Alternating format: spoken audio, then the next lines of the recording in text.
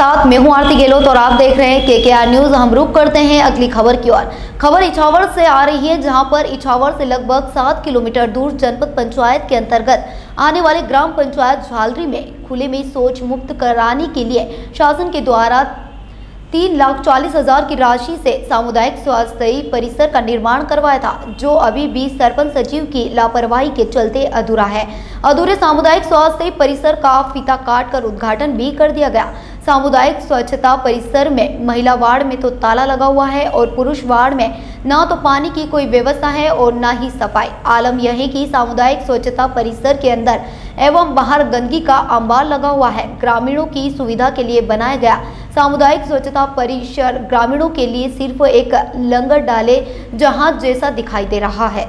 इछावर से जलील खान की रिपोर्ट। फ़िलहाल खबरों में इतना ही। आगे की तमाम जानकारी के लिए आप बने रहे हमारे साथ और चैनल को लाइक, शेयर, सब्सक्राइब करना ना भूलें।